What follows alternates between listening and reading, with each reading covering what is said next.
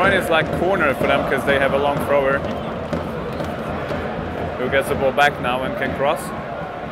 And he does it.